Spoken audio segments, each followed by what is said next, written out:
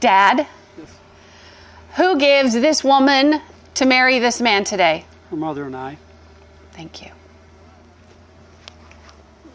Congratulations. Thank you. Yep. And if you can stay standing, please do. If you guys want to hold hands, you can. Family and friends, we are gathered here today to show our love and our support for Kelsey and for Luke and to celebrate the beginning of their journey together as a married couple. Let us rejoice that they have found one another and through each other they have come to know the power of love as they have never known it before. Please bow your heads. Heavenly Father, we welcome you and we are so grateful for you and your presence here today. We ask that you guide and bless Luke and Kelsey as they start their new lives together today. Please watch over all of their family and friends who are here, those who are unable to make it, and especially continue to watch over those who are watching this wedding from an opening in heaven. May your light and grace be extended to all, and that we may welcome you in our lives each and every day. Thank you for this wonderful day. Amen. Please be seated. Remember that deal that I had with you? Okay, get your devices ready. On your marks. Get set. Go.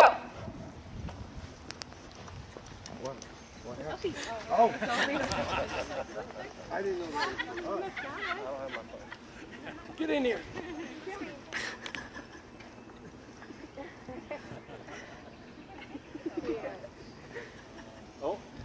Hey, let me in. We good? We good? Get back over. I don't know, I thought we were done. You can stay up here. All right. No stragglers, right? Oh, mom still got her phone. Let's let her do that. There's always one. Okay.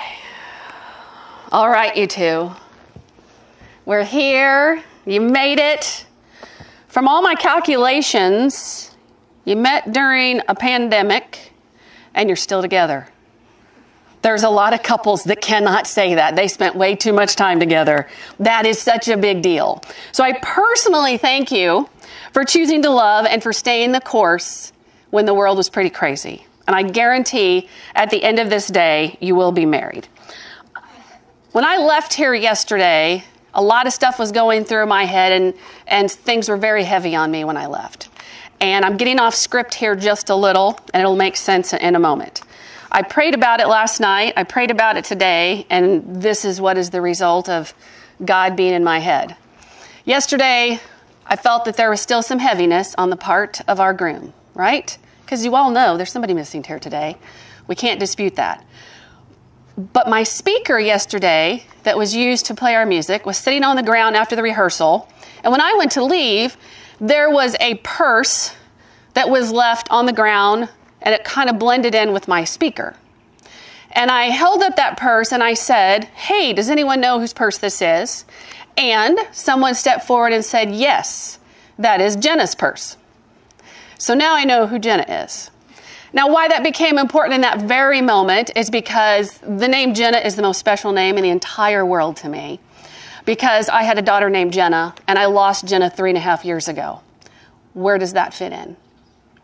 That fits in because I truly believe that energy attaches to energy, and I know that I don't get to experience this moment with my Jenna.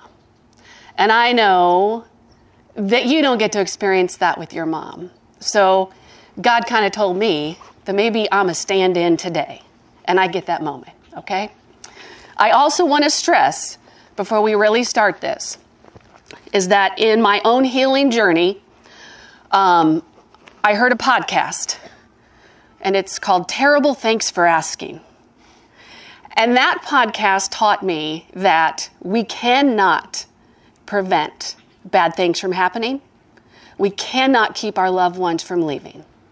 The only thing that we can do is celebrate and find joy in between losses, right? Mom's going to surface here a little bit later in the ceremony, but you know she's here. I know she's within me because that's why I'm saying these words. And this is one of those joyful days, right? And so this is the very best day that we could ask for. Thanks for letting me say that. Something that I do that is a little bit different is I gave a couple a list of questions. I told them that if they participated in this, I was going to read them before the ceremony. I asked them to carefully think and respond back to me individually, and these two did it. Neither has heard the other's answers until this very moment. So if you have never experienced bride and groom Q&A, here we go. I asked them to talk about when they first met. Kelsey said this. The first time that I met Luke, I thought to myself, wow, he is a tall, good looking guy, and that he looked like he had his life together. Was that true? Yeah. Okay. I could already tell that this was a guy that I could take home to my parents and they would approve of him. Luke said this. I remember having a very warm feeling when I met Kelsey at that coffee shop in downtown Peoria. Not because I was nervous or because the coffee was hot, but because of the way she smiled at me and met me with eye contact. It was like everything that I had to say was the only thing that mattered to her. I asked them what did they like best about each other. Kelsey said, This question is a tough one because he has so many qualities that make him such a wonderful man. I would have to say he is so easygoing and doesn't have a mean bone in his body. He's a very reliable person who would help anyone that needs him. Now remember that answer she just gave because this is what Luke said. To say I like one thing best about her wouldn't be fair to all of her other qualities that make her the most incredible woman in the world. I asked them why did they get married and where did they see themselves in five years. Kelsey said he makes everything better being with him. He challenges me to be my best. He even goes to the gym with me most of the time when I know he would rather be playing Fortnite with JD, Blaine, and Mike. He loves me for who I am, and I am comfortable around him and can be myself. He is so good with kids, and I can't wait to see him become a father. Luke is my best friend, and I can't wait to start this new adventure with him. In five years, I still see us living in central Illinois, raising children together, and both of us still working the same job. This is what Luke said. He said, I want to spend the rest of my life with her. I want to start a family with her, knowing she will be a great mom and she will put our children first ahead of everything. In five years, I will be living in Metamora with my wife, Kelsey, and our two boys, Morgan and Wallen. Probably still doing electrician stuff and just staying busy between work and family and continuing building on an already happy marriage. Have we agreed on those names? No. Okay. It's a joke. Yeah. I asked what did they have in common. Kelsey said we both like to travel and we are both homebodies. Both of us are shy and quiet people at first, but once we get comfortable, we can be pretty outgoing. Listen to this answer. Luke said we are a lot alike. We both hate being the center of attention and are very shy around new people. But when we get comfortable around our close friends or just each other, we can be very outgoing. I asked them the most important question. I asked them what annoys them the most about the other. And this is what Kelsey said about you. She said, he doesn't know how to aim for a toilet. and he leaves his dirty laundry throughout the house. this is what Luke said. Whenever we go through the drive through and she hands me my food, there is always a bite missing out of my burger. And she just sits there waiting for me to open my meal and see my reaction and thinks it's the funniest thing in the world. All right, you two. Are you ready? Deep breaths. Serious time. Okay. Luke, do you understand and do you accept this responsibility? And do you promise to do your best each day to create a loving, healthy, and happy marriage? If so, please say, I do. I do. And Kelsey, do you understand and accept this responsibility? And do you promise to do your best each day to create a loving, healthy, and happy marriage? If so, please say, I do. I do. And Luke, as you look at your bride, please repeat after me. I, Luke, I, Luke, choose you, Kelsey, choose you, Kelsey, to be my wife. to be my wife. From this day forward, From this day forward, I promise to love you, I promise to love you, to honor you, to honor you, to respect you, to respect you, to support you, to support you, and to laugh with you, and to laugh with you, as long as we both shall live. as long as we both shall live. And Luke, Kelsey has created some additional things that she would like for you to promise to do also. Repeat after me. I promise I promise to look first. To look first before asking before asking where something is. where something is. I promise I promise to put my shoes on the shoe rack, to put my shoes on the shoe rack, hang up my truck keys, hang up my truck keys, and hang up my hats by the front door and hang out hang up my hats by the front door when I come home from work. when I come home from work. And I promise And I promise to wipe out the sink to wipe out the sink after I shave. after I shave. Kelsey, please repeat after me while looking at your groom. I, Kelsey, I, Kelsey, choose you, Luke, choose you, Luke, to be my husband. to be my husband. From this day forward, From this day forward, I promise to love you, I promise to love you, to honor you, to honor you, to respect you, to respect you, to support you, to support you, and to laugh with you, and to laugh with you, as long as we both shall live. as long as we both shall live. And you know it's only fair for him to have some extra vows for you. Repeat after me. I promise I promise to admit to admit when I am wrong when I am wrong or when I make a mistake. or when I make a mistake. I promise I promise to assume to assume that all of Luke's actions that all of Luke's actions come from the best intentions. come from the best intentions.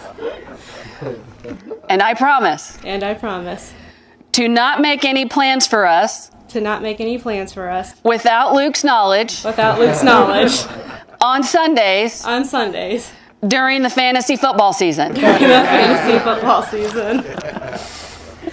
Okay. And now we will symbolize this union with the sharing of rings. May I have the rings, please? Can I have you open that box? Do you want me to? Yeah. You open it. I'm going to take them out.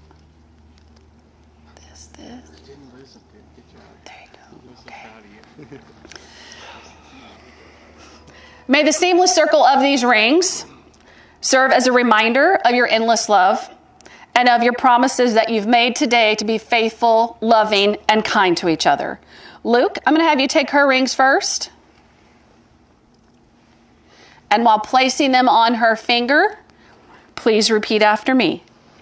With this ring, With this ring, I give you my promise I give you my promise to honor you, to honor you, to be faithful to you, to be faithful to you, and to share my love and to share my love and life and life with you for always. with you for always.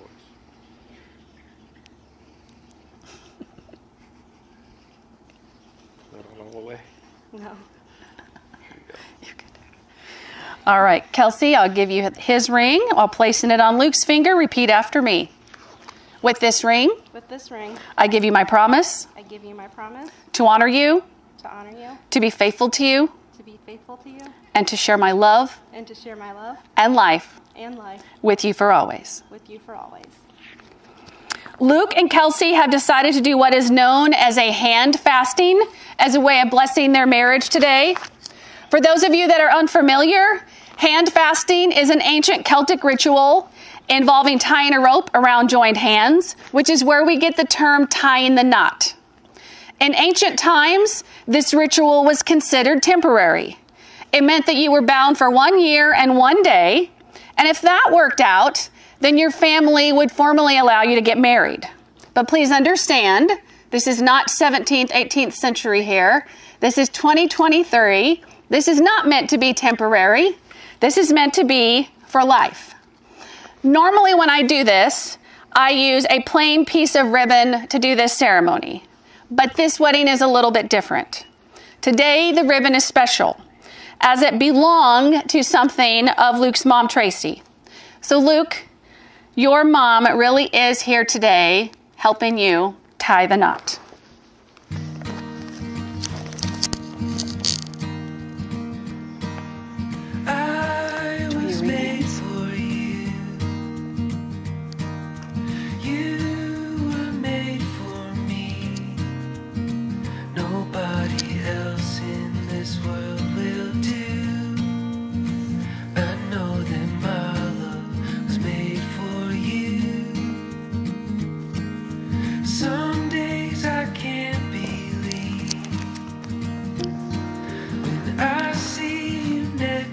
These are the hands of your best friend, young and strong and full of love for you, that are holding yours on your wedding day as you promise to love each other today, tomorrow, and forever. These hands will work alongside yours as together you build your future.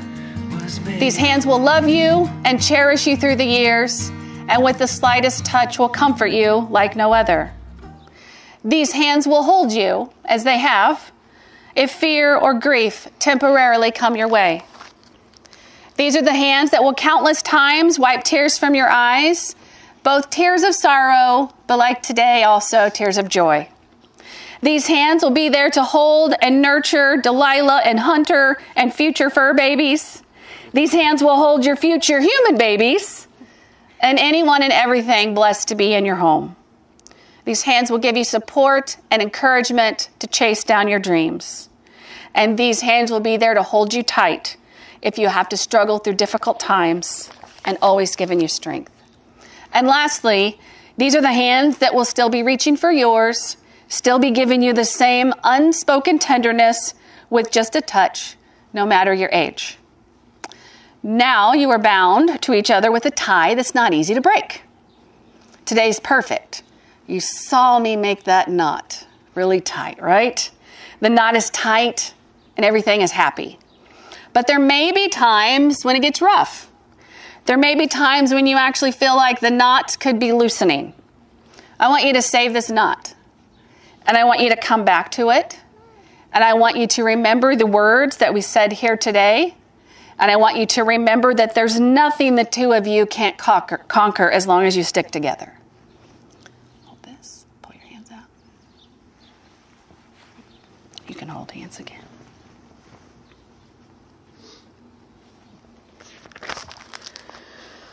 Luke and Kelsey, you've declared your intentions and vows before God, family, and friends. May you be true to the vows that you have made here today, and may you have the wisdom to cherish the precious love that you share. And may this life that you share be peaceful, healthy, and filled with nothing but blessings and joy. May you never go to bed angry, and may you always kiss each other goodnight. And please don't forget, as you and I both know, life is so very short. We're not promised tomorrow. So make sure, even if you're apart, that you say, I love you every single day. I hope that you can collect experiences and not things. I hope that you can continue to make memories and that you can keep choosing each other every single day, even in those annoying times that you talked about. I hope that you always laugh during the good times and hold each other during the bad, and never forget that no matter how bad some things may get, and they may because of this crazy thing that we call life, you still have each other. So, family and friends, it is with my great honor and privilege, and with all of the authority granted to me, and I told these guys that I'd say this, by this ridiculous state of Illinois, that I witness and affirm this union of love and do hereby pronounce that these two are in fact stuck together for life. Luke and Kelsey, you may now share your first kiss. Yes,